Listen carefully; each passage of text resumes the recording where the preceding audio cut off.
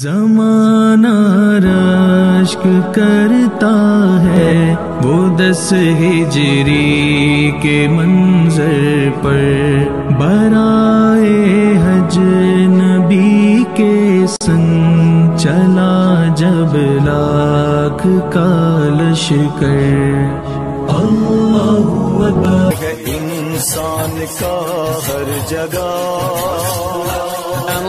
अल्लाम वरहमल वबरकातुह। मेरे मोहतरम अज़ीज़ों दोस्तों मेरे प्यारे भाई और बहनों मैं उम्मीद करता हूँ कि आप सभी दोस्त अहबाब खैर आफियत से होंगे और अल्लाह की बारगाह में दुआ करता हूँ कि अल्लाह रब्बुल इज़्ज़त आपकी तमाम जायज़ तमन्ना और मुरादों को पूरा फरमाए। आपके कारोबार में चार चाँद लगाए, दिन दोगनी और रात चौगनी तरक्की अता फरमाए। आप जहाँ भी रहें, शादो आबाद रहे, हमेशा खुश रहें और खुशियाँ बांटते रहे। खेमे हुए खाली हजाज ग्राम पहुँचे हरम शरीफ, हज 2023 हुआ मुकम्मल। कब होगी घर वापसी? प्यारे दोस्तों, सऊदी अरब से हाजियों को लेकर के एक बहुत बड़ी दुख भरी खबर सामने आई है। जिसमें मुझे बड़े अफसोस और दुख के साथ ये कहना पड़ रहा है कि हरम शरीफ में 230 हाजियों की जान चली गई है। वो किस वजह से गई है? किस वजह से उनका इंतकाल हुआ है? क्या वजह रही कि इस बार इतने हाजियों की जान चली गई? और शिहाब भाई की एक वीडियो भी आई है, वो भी आपको दिखाएँगे। शिहाब भाई की वापसी की कन्फर्म डेट क्या है? यानी कि शिहाब भाई को किस डेट का टिकट मिला है? और तमाम हाजियों की जो फ़्लाइट है, वापसी की फ़्लाइट वो किस तारीख से शुरू हो रही है? है। लेकिन इन सारी बातों को जानने के लिए आपको वीडियो को एंड तक देखना होगा। दोस्तों, आज की वीडियो में बात करेंगे शिहाब भाई की और तमाम हाजियों की जो लाइव लोकेशन है, यानी इस वक्त में शिहाब भाई और तमाम हुजाज किराम जो है वो कहाँ पर है और क्या कर रहे हैं। इन सारी बातों का खुलासा हम वीडियो के एंड में करेंगे, इसलिए आप वीडियो को लास्ट तक ज़रूर देखिएगा। प्यारे दोस्तों, आज की इस वीडियो में हम शिहाब भाई को लेकर ही बात करने वाले हैं। शिहाब भाई के इंडिया से लेकर के सऊदी तक के सफ़र के ताल्लुक से और मक्तुलमकरमा के हवाले से जितनी भी अपडेट आ रही है और जानकारी मिल रही है,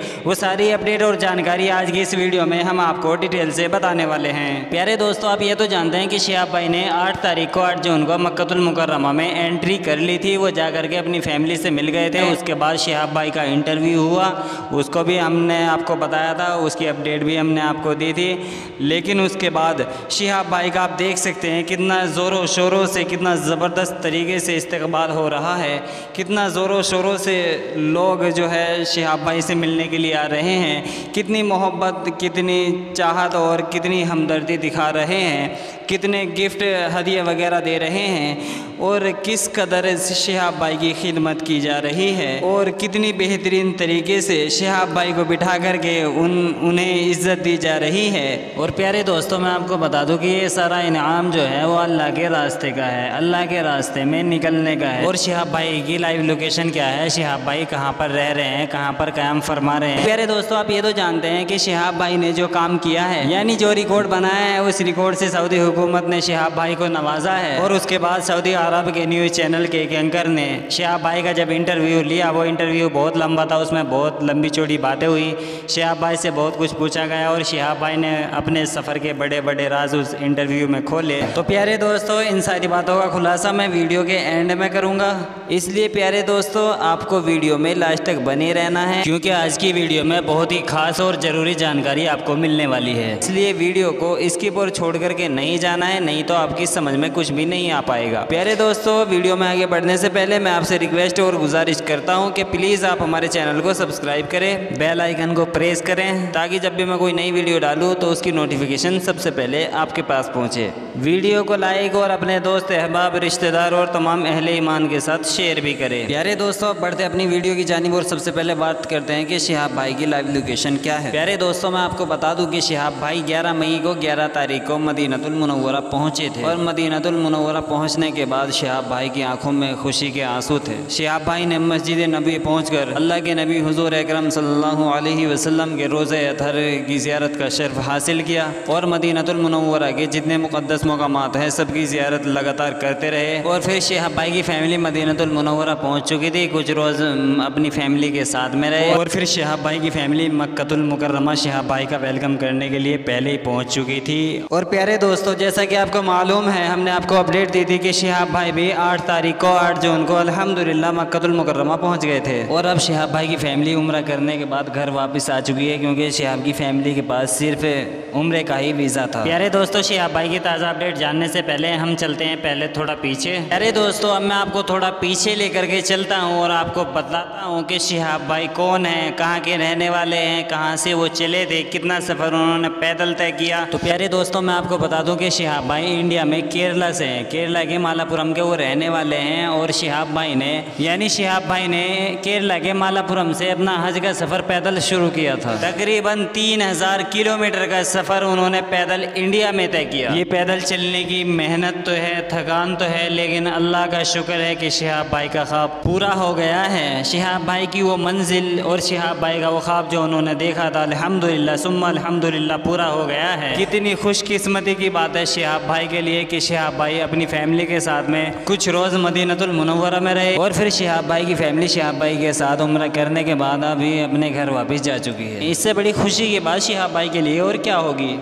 शिहाब भाई ने अपना कीमती वक्त अपनी फैमिली के साथ में गुजारा और साथ में उम्र भी किया। ये बात शिहाब भाई की खुशी में, उनकी खुशकिस्मती में चार चाँद लगाती है। क्योंकि प्यारे दोस्तों, जिस घर में जाने के लिए अकेला इंसान भी तरसता है, ख्वाहिश करता है, ख्वाहिशमंद होता है कि अल्लाह मुझे किसी तरह अपने उस घर में बुला ले। उस घर में जाने के लिए कितनी मेहनतें, मुशक्क़तें करता है, कितना अल्लाह से माँगता है, जब जा करके अल्लाह कबूल करता है और अल्लाह रब्बुल उसे अपने घर में बुलाते हैं। क्योंकि प्यारे दोस्तों, ऐसे बहुत इंसान हैं जो हज करने के लिए जाना चाहते हैं। उनके पास इतनी वसत भी है, उनके पास इतना पैसा भी है, उन पर जो है वो फ़र्ज़ भी है, लेकिन किसी मजबूरी के तहत वो नहीं जा पाते। जब भी हज का ज़माना आता है, हज का वक्त आता है तो उनके सामने कोई ना कोई ऐसी मजबूरी आकर के खड़ी हो जाती है, जो उन्हें जाने नहीं देती और वो नहीं जा पाते। लेकिन अल्लाह रब्बुल ने शिहाब भाई को ये इनाम बख्शा है, ये इनाम दिया है कि उन्हें पैदल हज करने के लिए कबूल किया है। लेकिन शिहाब भाई के रास्ते में परेशानियाँ भी बहुत आई, जिनका शिहाब भाई ने हिम्मत के साथ डट करके सामना किया। और अपनी तरफ़ से जहाँ तक हो सका वो लगातार कोशिश करते रहे। पर शिहाब भाई घबराए नहीं, डरे नहीं, बल्कि सामने खड़े होकर डटे रहे, हर मुश्किल का सामना करते रहे। वो कहावत सुनी होगी आपने कि हिम्मत मरदा तो मदद खुदा। जब इंसान हिम्मत करता है, कोशिश करता है तो उसके साथ अल्लाह रब्बुल इज़्ज़त की मदद शामिल हाल ज़रूर होती है। और जीता जाता सबूत आपके सामने है कि शिहाब भाई को आप ले लीजिए। शिहाब भाई के साथ में अल्लाह की वो मदद है जिसने शिहाब भाई को शिहाब बनाया है। शिहाब को उनकी मंजिल तक पहुँचाया है। और जिसकी वजह से शिहाब भाई अपनी मंजिल पर पहुँच करके बहुत ज़्यादा खुश हैं। क्योंकि शिहाब भाई ने अपनी हिम्मत को टूटने नहीं दिया और अपने हौसलों को पस्त होने नहीं दिया वो दिल लगी के साथ दिल लगा करके अल्लाह से इखलास के साथ मांगते रहे। ये वो सबसे बड़ी परेशानी थी जो शिहाब भाई को इंडिया में सफ़र करते हुए उनके सफ़र के दौरान शिहाब भाई को पेश आई थी। जब पाकिस्तान उन्हें वीज़ा नहीं दे रहा था तो उन्हें लगभग चार महीने दस या पंद्रह दिन उन्हें पंजाब के एक स्कूल में रह करके इंतज़ार करना पड़ा। उन्हें बाद में फिर वीज़ा मिला। वीज़ा मिलने के बाद वो पाकिस्तान पहुँचे। फिर शिहाब भाई ने अपना सफ़र पाकिस्तान में तय किया। लेकिन दूसरी परेशानी की बात यह थी कि पाकिस्तान सरकार ने शिहाब भाई के लिए कुछ अच्छा नहीं किया। दूसरी परेशानी शिहाब भाई के लिए ये खड़ी की कि शिहाब भाई को कुछ ही रोज़ पाकिस्तान के अंदर सफ़र करने दिया गया। उसके बाद उन्हें फ़्लाइट में बिठा करके ईरान के अंदर छोड़ दिया गया। प्यारे दोस्तों, फिर शिहाब भाई ने ईरान के अंदर अपने सफ़र को तय किया लेकिन परेशानी शिहाब भाई का साथ कहाँ छोड़ने वाली थी? ईरान के सफ़र के दौरान शिहाब भाई को ये परेशानी पेश आई कि ईरान के अंदर बहुत ज़्यादा बर्फबारी थी। शिहाब भाई ने जब ईरान के अंदर एंट्री की शिहाब भाई जब ईरान पहुँचे तो ईरान में बहुत ज़्यादा बर्फबारी थी। इतनी ज़्यादा बर्फबारी थी कि रास्ते भी सफ़ेद हो रहे थे पेड़ पौधे भी सफ़ेद हो रहे थे। बहुत ही ज़बरदस्त ठंड और बहुत ज़्यादा सर्दी थी। वो वक्त बहुत मुश्किल भरा था। दोस्तों इतनी ज़बरदस्त सर्दी में सफ़र करना आसान नहीं था, बहुत मुश्किल था। इतनी ठंड में और इतनी सर्दी में भी शिहाब भाई ने अपने सफ़र को रोका नहीं, बल्कि हिम्मत और हौसलों के साथ अपने सफ़र को तय करते हुए चले आ रहे थे। प्यारे दोस्तों, अब चलते हैं वीडियो की तरफ़। आपको वो वीडियो दिखाते हैं जिनका ज़िक्र हमने शुरू में किया था। जिस वीडियो को देख करके आपका दिल खुश हो जाएगा। है मेरी को देखता जाऊँ।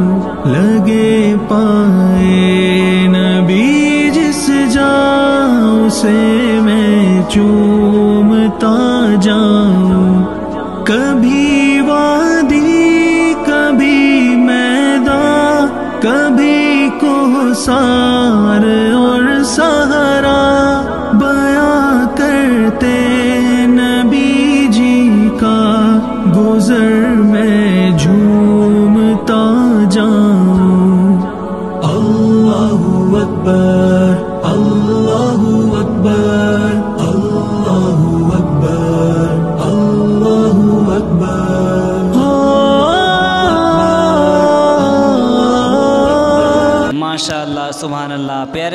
देख सकते हैं कितनी खूबसूरत और कितनी प्यारी ये वीडियो है। अरे दोस्तों, ये वीडियो आपको अच्छी लगी हो तो वीडियो को लाइक ज़रूर करें शहाब भाई के लिए एक प्यारा सा कमेंट करें सुबह अल्लाह माशाल्लाह, ज़रूर लिखे और अपने दोस्तों के साथ शेयर भी करें, क्योंकि जितने शहाब भाई से प्यार, मोहब्बत करने वाले हैं, ये वीडियो उन सभी तक पहुँचनी चाहिए। दोस्तों, ये हमारे एक भाई हैं जो कि इस वक्त सऊदी में है, जिनके ज़रिए से ये वीडियो हमें मिली है। अल्लाह रब्बुल उस भाई के तमाम सगीरा के बिरा गुनाहों को माफ़ फरमाए और इसका बदल अल्लाह रब्बुल इज़्ज़त उसे दुनिया में भी और आखिरत में भी अदा फरमाए।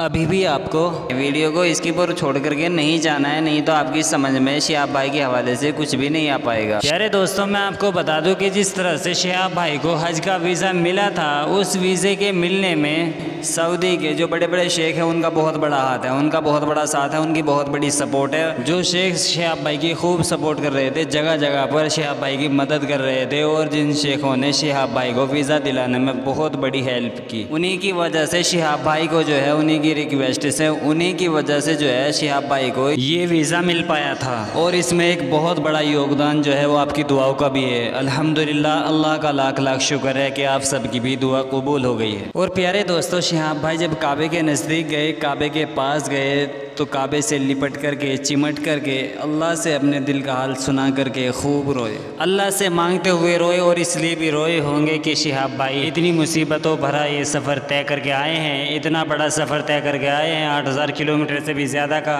और अपने सफ़र में उन्होंने इतनी मुसीबतें, इतनी मुश्किलें और इतनी परेशानियाँ झेली हैं। और ये सफ़र तय करने के बाद भी शिया भाई को जब हज का वीज़ा नहीं मिल रहा था तो ये भी एक बहुत बड़ी परेशानी थी कि इतना लंबा सफ़र करके और इतनी परेशानियों भरा सफ़र तय करके आए हैं। शिया भाई ने सोचा होगा कि अब मेरी इस एक साल की मेहनत का क्या होगा। लेकिन अल्हम्दुलिल्लाह शिहाब भाई को अल्लाह रब्बुल इज़्ज़त ने हज का वीज़ा दिला दिया है तो अल्लाह का शुक्र अदा करते हुए भी शिहाब रोए होंगे।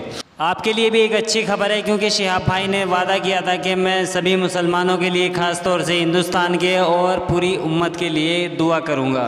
तो दोस्तों, खुश हो जाइए, क्योंकि शिहाब भाई की दुआओं में हम सब भी शामिल हैं। शिहाब भाई की ताज़ा अपडेट और लोकेशन के बारे में बात करेंगे, लेकिन उससे पहले आप ये वीडियो देखिए। शाह भाई के हवाले से मैं आपको बताऊँ कि शाह भाई अभी जो है मक्का में ही मौजूद हैं। मक्का से तकरीबन कोई साढ़े पाँच किलोमीटर छः किलोमीटर की दूरी पे एक होटल है। जद्दा हाईवे जद्दा मक्का के जो हाईवे है उसके ऊपर एक होटल है। वहाँ पे जो है शाह भाई अभी मुकीम है उधर ही रिहाइश है उनकी। और मैं आपको एक चीज़ और बताता चलूँ कि जो मक्का से जो हाजी हैं जिन जिनका हज हो चुका है सबका ही हज हज हो चुका है। वो उन, उनकी जो फ्लाइटें हैं का सिलसिला है जो शुरू होने वाला है वो पाँच तारीख से जो है वो स्टार्ट हो रहा है। और पाँच तारीख से जो सऊदी हुकूमत जो है हाजियों को वापस उनके जो जहाँ जहाँ से वो आए हैं जिस जिस मुल्क से वो Pakistan Iran Iraq Kuwait Bangladesh जहाँ जहाँ से भी लोग आए हैं इंडिया जहाँ जहाँ से भी आए पाँच तरीकों से फ्लाइटों का जो सिलसिला है वो शुरू कर रहे हैं। तो शाह भाई का टिकट कंफर्म हो गया है और देखते हैं कि उनका पाँच तारीख को कंफर्म हुआ है या सात तारीख का कंफर्म हुआ है। तो जैसे ही उनकी वहाँ से वो रवानगी होती है इनशाला सबसे पहले जो है मैं आपको बताऊँगा कि शाह भाई का टिकट भी कोशिश करूँगा कि आप सब दोस्तों के साथ शेयर कर दूँ। और जैसे ही वो वहाँ से निकलते हैं तो मैं आपको बता दूँगा कि शाह भाई अब वहाँ से दिल्ली के लिए निकले हैं या केरला के लिए निकले हैं। तो मेरे अंदाजे के मुताबिक तो यही है कि शाह भाई का जो टिकट है, वो दिल्ली का होगा, क्योंकि केरला से फ्लाइटें कम जाती हैं केरला के लिए वहाँ से सऊदी से। तो और ये जद्दा एयरपोर्ट से जाएँगे। मैं आपको बताते चलूँ, जद्दा एयरपोर्ट से इनकी फ़्लाइट होगी, Jeddah to Dubai sorry Jeddah to Delhi इनकी फ़्लाइट होगी। दिल्ली में जाएँगे, फिर दिल्ली से हो सकता है लोकल ये कोई जहाज़ लेके जिस तरह केरला की तरफ़ जाते हैं। केरला में आपको पता दो तो वो हैं जो एयरपोर्ट्स हैं। एक वो अल्थानी एयरपोर्ट है और एक जो है कुची एयरपोर्ट है। अब पता नहीं अल्थानी एयरपोर्ट पे जाएँगे या कुची एयरपोर्ट पे जाएँगे। तो जैसे ही हम यहाँ से निकलते हैं इनशाला मैं आपको अपडेट कर दूँगा। आप बस इंतज़ार कीजिएगा। जी हाँ प्यारे दोस्तों, आपने सुना शहाब भाई और हाजियों की जो लाइव लोकेशन है, वो मक्का है। कुछ हाजियों की जो लोकेशन है, वो मदीना भी है। कुछ हाजी जो है, ज़्यारत करने के लिए मदीनतुल मुनव्वरा गए हैं। और प्यारे दोस्तों, आपने ये भी सुना कि हाजियों की जो वापसी की जो फ़्लाइटें हैं, उसका सिलसिला जो है वो पाँच तारीख से शुरू हो जाएगा। और शिहाब भाई का जो कन्फर्म टिकट है, वो अभी सामने नहीं आया है। वो ये बता रहे हैं कि पाँच तारीख या सात तारीख का टिकट है, वो जैसे ही सामने आता है। कोशिश करेंगे कि आपको टिकट भी दिखाया जाए। और ये भी बताया जाएगा कि शिहाब भाई दिल्ली जाएँगे या केरला जाएँगे। डायरेक्ट केरला जाएँगे या पहले दिल्ली जाएँगे। ज़्यादा चांस जो है वो दिल्ली के ही है, क्योंकि केरला के लिए फ़्लाइटें कम है। इसलिए ज़्यादा चांस इसी के हैं कि पहले जद्दा से दिल्ली की फ़्लाइट लेंगे और फिर दिल्ली से केरला की फ़्लाइट लेंगे। प्यारे दोस्तों, अब दिखाते हैं आपको और सुनाते हैं वो दुखद खबर जो बहुत ज़्यादा दुख देने वाली है। हमारे पास एक ऑडियो आई है और इस ऑडियो में बताया गया है कि वो कौन सी वजह थी जिस वजह से 230 हाजियों को अपनी जान गंवानी पड़ी। पहले आप ये ऑडियो सुनिए, उसके बाद बात करते हैं। हम का हज पूरा हो चुका है। और काफ़ी जो काफ़िला है वो मक्का से मदीना के लिए रवाना हो चुके हैं और इसके बाद अ, कुछ हाजी हैं जो मक्का में रहेंगे। और जाज इकराम का हज कंप्लीट हो चुका है लेकिन दुख भरी खबर ये है कि 230 लोगों की मौत हो चुकी है।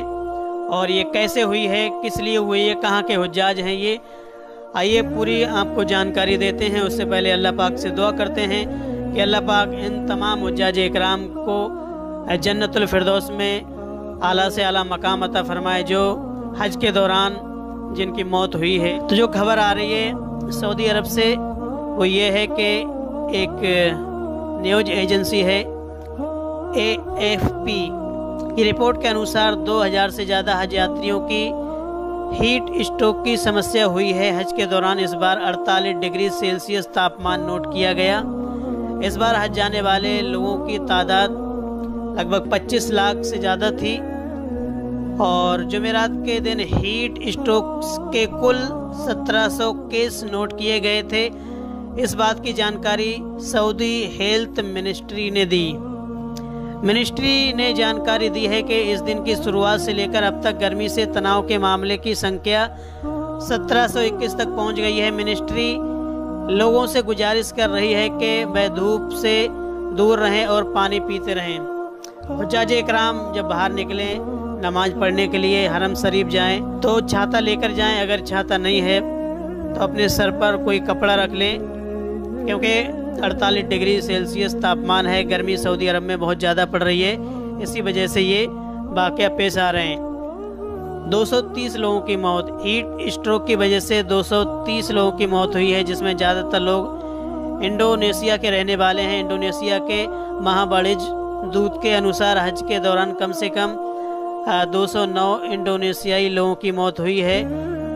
महाबड़िज दूत ने यह स्वीकार करते हुए कहा है कि ये कहना गलत है कि बहुत सारे इंडोनेशियाई तीर्थ हज यात्रियों की मौत गर्मी के कारण हुई है। इसके अलावा नौ जो हैं हज यात्री हैं वो अल्जीरिया के हैं और चार मोरक्को के हैं जिनकी मौत हुई है। वहीं आठ लोग इजिप्ट के हैं। जिनकी मौत हुई है। और ऐसा तब हुआ है जब सऊदी अरब ने इस साल के सबसे बड़े हज के दौरान हज यात्रियों की मदद के लिए हज़ारों पैरामेडिक्स भेजे और फ़ील्ड अस्पताल स्थापित किए क्योंकि अ, 2019 और इससे पहले 25 लाख हज यात्री आए थे। और उसके बाद अब आए हैं। प्यारे दोस्तों, ये थी वो दुख भरी खबर जिसको सुनकर के बहुत ज़्यादा दुख हुआ। मरने वाले हाजियों में सबसे ज़्यादा हाजी जो थे, वो इंडोनेशिया के थे, जिनकी तादाद 209 बताई जा रही है। इस तरह से कुल मिलाकर के 230 लोगों को अपनी जान गंवानी पड़ी है। और सऊदी मिनिस्ट्री ऑफ़ हेल्थ ने बताया है कि ये जाने जो है, वो गर्मी की वजह से गई है, क्योंकि इस वक्त में सऊदी अरब के अंदर गर्मी बहुत ज़्यादा पड़ रही है। प्यारे दोस्तों, आप भी दुआ कीजिएगा, मैं भी दुआ करता हूँ कि अल्लाह रब्बुल इज़्ज़त तमाम मरहूमिन की मगफिरत फरमाए। अल्लाह रब्बुल इज़्ज़त उनकी कब्र को नूर से मुनवर फरमाए। जन्नतुल फिरदौस में आला से आला मकाम नसीब फरमाए। और तमाम हुजाज इकराम के घर वालों को अल्लाह रब्बुल इज़्ज़त सब्र जमील आता फरमाए। आमीन, सुम आमीन। और दोस्तों, शिहाब भाई ने जो एक बहुत बड़ा ख्वाब देखा था पैदल हज करने का, अल्हम्दुलिल्लाह, सुम अल्हम्दुलिल्लाह, शिहाब भाई का वो ख्वाब भी मुकम्मल हो चुका है। और बात अगर करें कि शिहाब भाई घर वापसी जो है, पैदल आएँगे कि फ़्लाइट से आएँगे तो इस हवाले से ये बताया जा रहा है कि शिहाब भाई इधर से पैदल ज़रूर गए थे, लेकिन उधर से पैदल नहीं आएँगे, बल्कि फ़्लाइट से आएँगे। तो प्यारे दोस्तों, बहुत कड़ी मेहनत के बाद और बहुत मुशक्क़तों और बहुत तकलीफ़ों को बर्दाश्त करने के बाद शिहाब भाई का जो है सपना और ख्वाब पूरा हो चुका है। अल्हम्दुलिल्लाह वो हज कर चुके हैं और तमाम हाजियों का हज भी मुकम्मल हो चुका है। और प्यारे दोस्तों, बहुत जल्द जो है तमाम हजाजी ग्राम और शिहाब भाई अपने घर वापसी करेंगे। और कमेंट करके आप ज़रूर बताइएगा कि शिहाब भाई जो है दिल्ली जाएँगे कि केरला जाएँगे। और प्यारे दोस्तों, ये भी ज़रूर बताइएगा कि दिल्ली में शिहाब भाई का स्वागत है और वेलकम कैसा होगा। और प्यारे दोस्तों, अगर अभी तक आपने हमारे चैनल को सब्सक्राइब नहीं किया है तो प्लीज़ सब्सक्राइब कर दीजिए बेल आइकन को प्रेस कर लीजिए, क्योंकि शिहाब भाई के बाद भी हम अपने इस चैनल पर आपको बहुत अच्छी अच्छी और बहुत प्यारी प्यारी वीडियो आपके लिए लाते रहेंगे। और हमारे एक नौशाद भाई है, जो कि कर्नाटका से चले हैं, जो कि दो हज़ार चौबीस का हज करेंगे। उनकी अपडेट भी डेली की अपडेट हमारे इस चैनल पर आपको मिलती रहेगी। फ़िलहाल वो दिल्ली रुके हुए हैं अपनी कागज़ी कार्रवाई करा रहे हैं। जैसे उनके कागजात पूरे होते हैं कागज़ी कार्रवाई पूरी होती है तो इन बहुत जल्द नौशाद भाई इंडिया से बाहर का सफ़र अपना शुरू करेंगे।